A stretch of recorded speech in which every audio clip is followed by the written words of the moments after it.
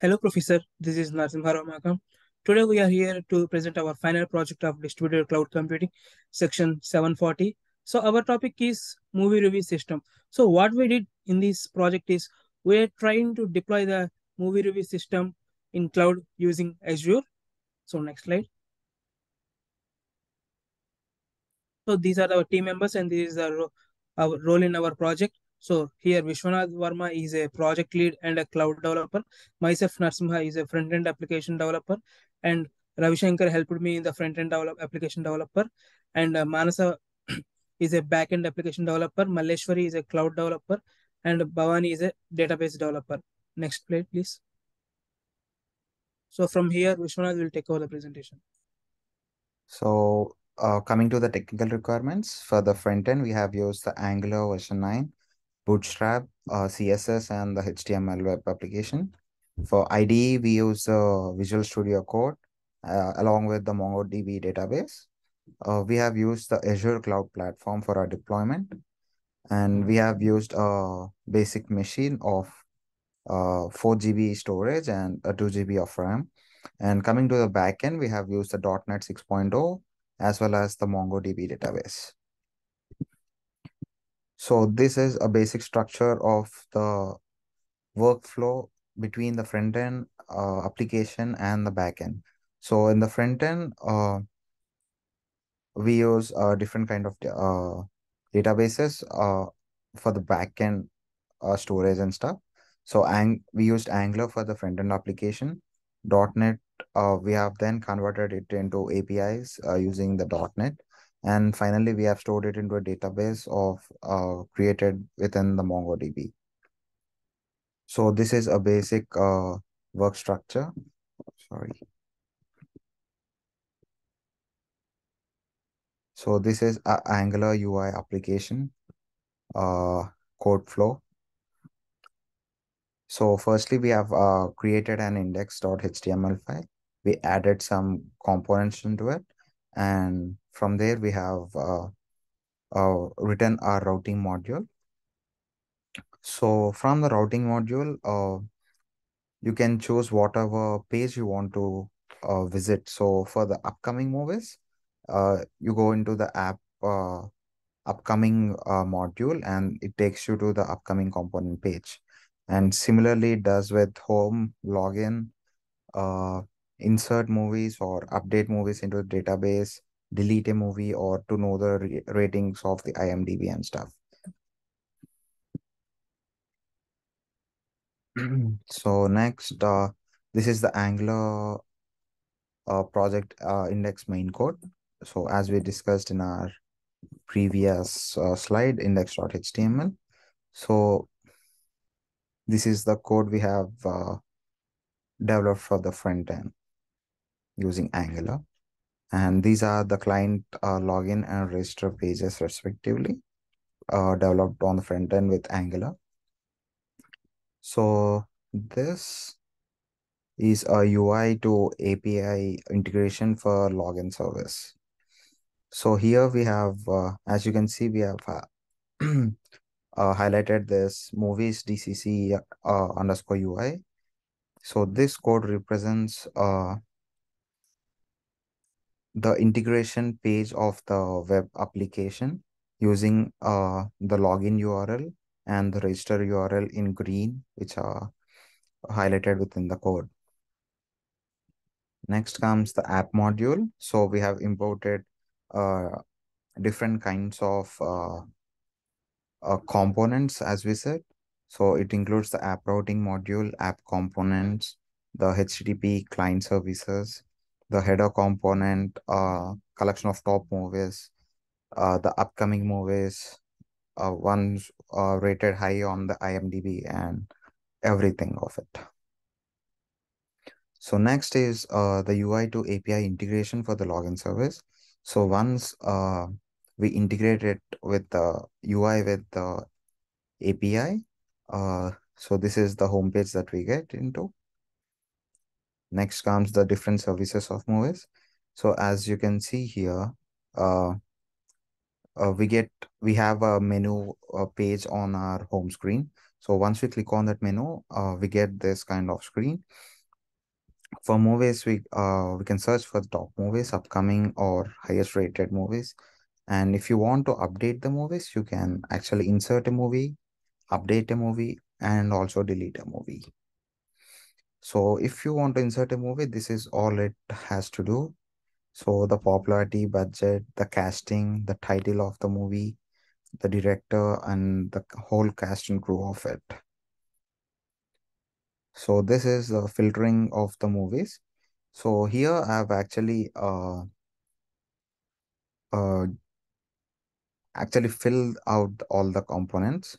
So basically you, you have a drop down and with all the movies available, you can just uh, filter out the movies uh, according to what you want.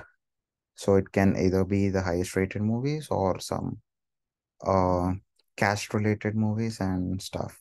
So once you submit here, you get a list of recommendations. So uh, this is how it would look.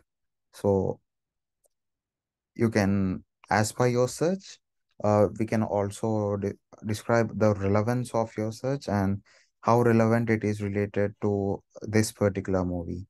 So if you have searched something and it matches to 80%, which is the relevance that we have described here.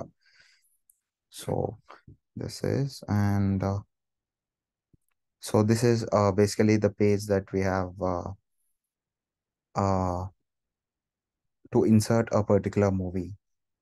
So this is an example of it.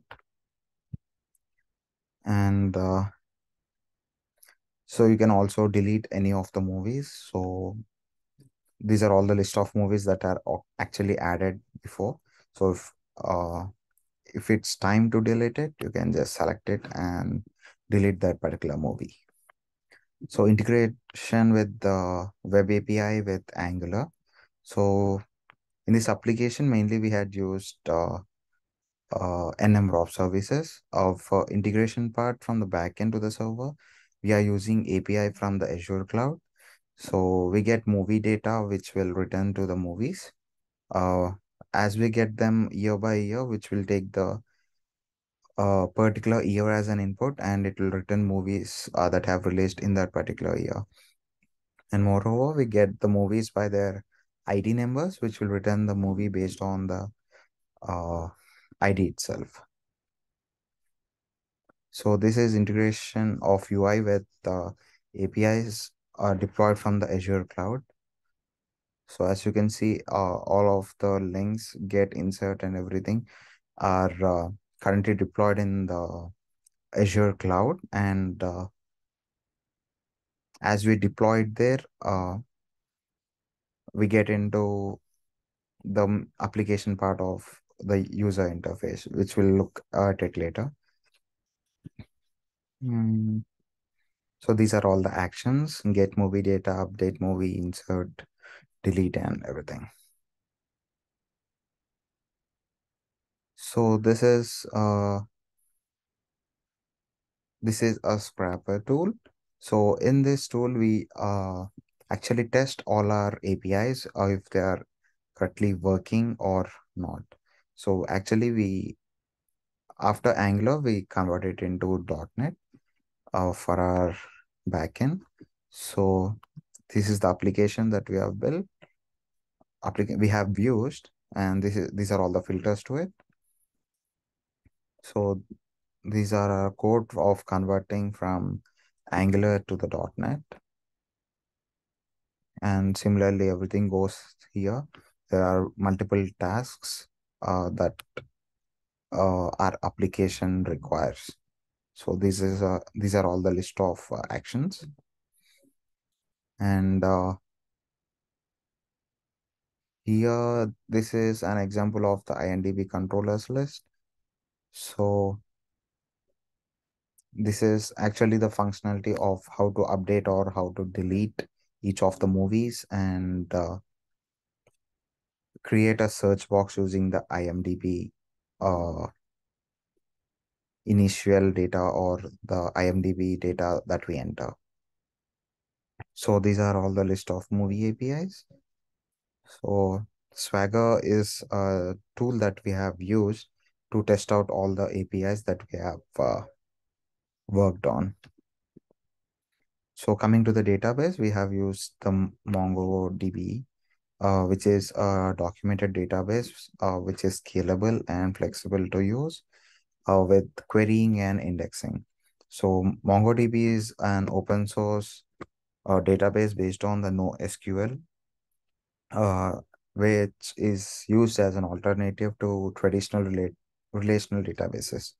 So MongoDB is a tool that can manage uh, document-oriented information and uh, NoSQL databases are quite useful for working with large sets of distributed data.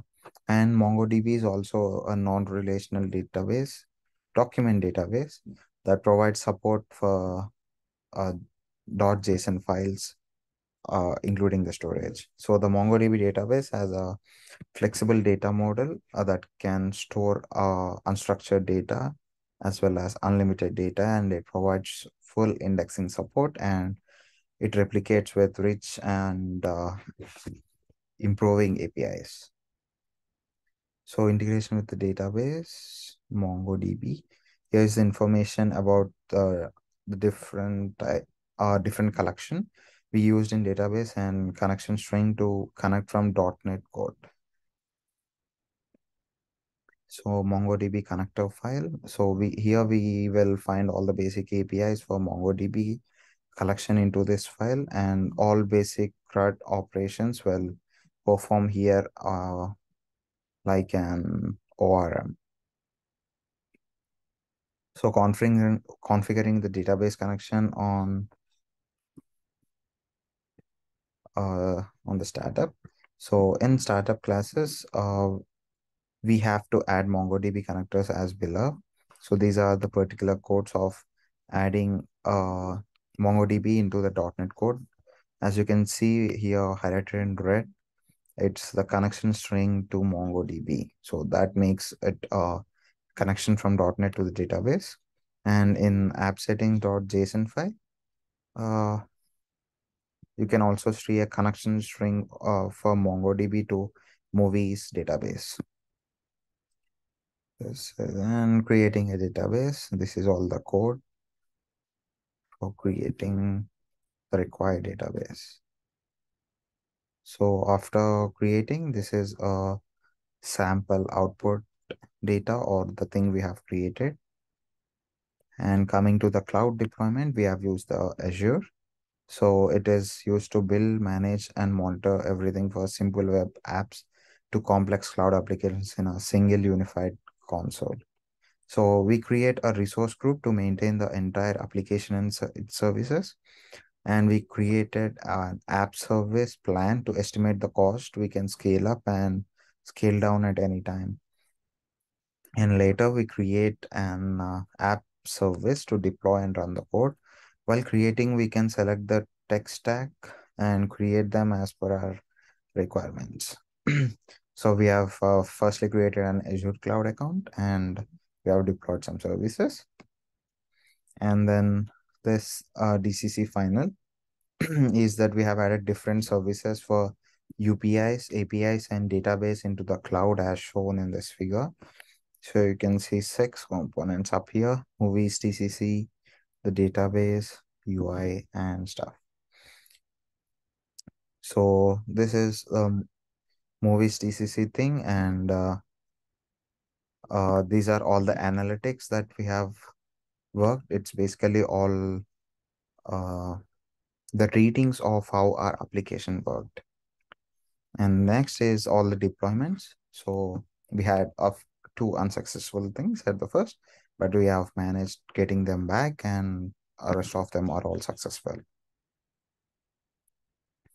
So deploying the Angular code on cloud, we have used the app services in VS Code for deploying it on Azure. So as have, we have discussed, these are all the links uh, that we have got from the Azure account and deployed it in our code so that the app runs from the cloud application. So uh, we'd uh, we select a dist uh, folder to deploy the cloud, which is on our local computer. So once you select it uh, and deploy it into the cloud, uh, the application gets running and uh, this is a UI and the status is as running over here. And this is, uh, as you can see, there's a URL column here and that is what we have uh, should copy and deploy it on our code and run it so that the application gets going. So our API depends on the MongoDB database and this is where we have configured it. Uh, next comes that uh, so as you can see a publish button up here.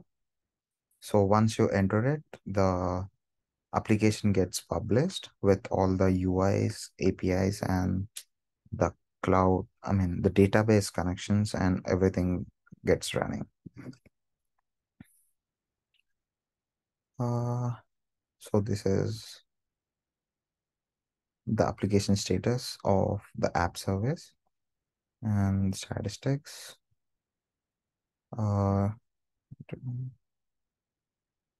yeah, details of this uh, movies database deployed on the cloud. And this is the info for connecting the movies database deployed on the cloud. So there are all, are you, I mean, Azure provides all uh, the code for .NET, Node.js, MongoDB, Java, Python, and everything. So this is a quick start and you can just uh, copy this code uh, from Azure into your local uh, VS Code for connecting it with the cloud service. And uh, that keeps it all running. And this is all about our presentation. Thank you so much.